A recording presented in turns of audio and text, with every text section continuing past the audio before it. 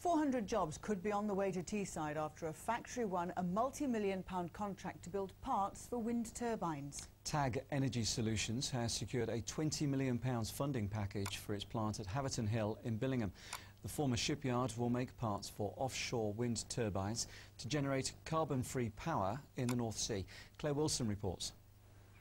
After a time of uncertainty, there's a new future of hope on Teesside. Last year, the former shipyard at Haverton Hill in Billingham lost a multi-million pound contract to build an oil rig, and with it, hundreds of jobs. Now, a 20 million pound investment into wind turbines has changed the purpose of the yard. It's been a long and torturous period for lots of people, but we've succeeded. There'll be 100 uh, permanent jobs within the factory when it's fully up and running, but some of the projects are very big, and when we get a large project in to build lots of substructures, that will probably fluctuate up to another 300 jobs on top of that. So a baseline of jobs of 100, but going up and down to circa 400 jobs. I think offshore wind is something that we all need to be very interested in because uh, firstly the, there's a lot of work. There's 45 million tonnes of steel that has to go into the North Sea over the next uh, 15, 20 years. Uh, and that equates to about 9,000 Blackpool towers that are going to sit out there. So that's a lot of work and you know, we need to make sure that the northeast of England has a fair share of that.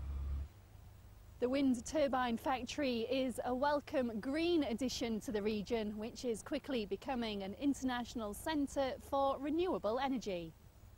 Only yesterday, Liberty Electric Cars promised the creation of more than 500 jobs at its plant in Cramlington.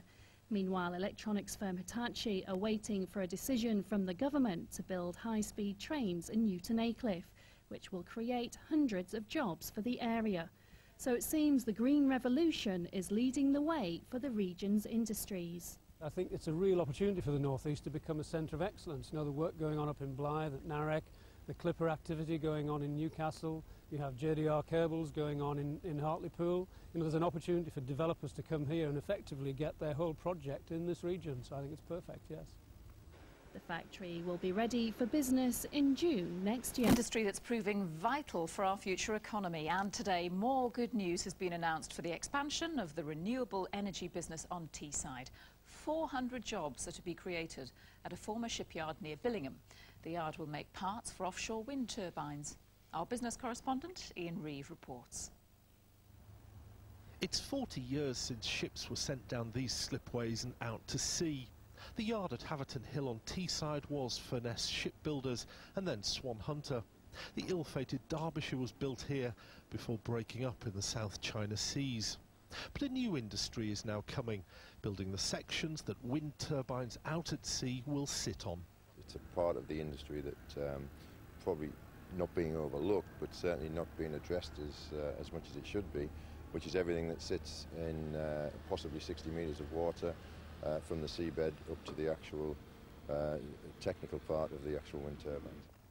400 jobs will be created in a new £25 million factory.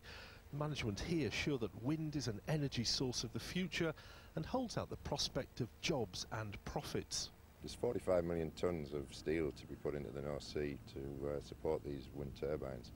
And I try to equate that to uh, the, the 9,000 Blackpool towers to put in the North Sea, which is you know, quite a bit of uh, structural work to be putting out there.